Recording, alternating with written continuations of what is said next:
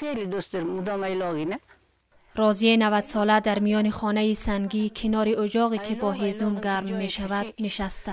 رازیه در این سن و سال ترجیح می دهد که برای تجربه همزیستی با حیوانات اهلی و خوردن غذاهای محلی تازه و گرم مدتی در هوای پاک و کوهستانی ایلاق سپری کند. ایلاق تو جای کچی خوبیش در کجای اینجا مامی؟ خوبیش قیمق در پریمو روغو است پریمو در کنار آنهایی که برای لذت بردن از طبیعت و فرار از زندگی یک نواخت به ایلاق می آیند صدها خانواده هم از سری ناگزیری در فصل بهار از رستاهای دوردست کج می بندند و مسیرهای دور و درازی را می پیمایند تا آخر تابستان در کوه زندگی می کنند.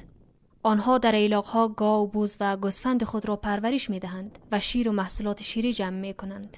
ایلاق به محل زندگی تابستانی رمداران گفته می شود که تابستان هر سال با حیوانات خود به چراگاه های پر آب و علف و کوهستان های دوردست کج می کنند.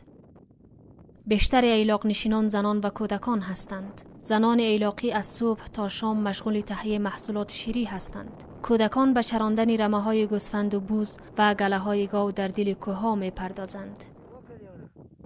فاطمه می‌گوید زندگی ایلاقی نوعی ناگزیری است. می از مجبوری می دیگه. مالگا و قشلاق جای نداره. دلف که تالا است خلق ایگل می‌کنه. می دا غید یخی دا غید بدرازی غید بارشی. خیلی روزای بدی روزای سختی تیر می‌کنه این ایلاق نشینان با دشواری های زیادی دست به گریبان اند. مهمتر از همه نبود مکتب، عدم دسترسی به خدمات صحی و نبود ترانسپورت برای انتقال بیماران بیشتر برای آنان چالش برانگیز است.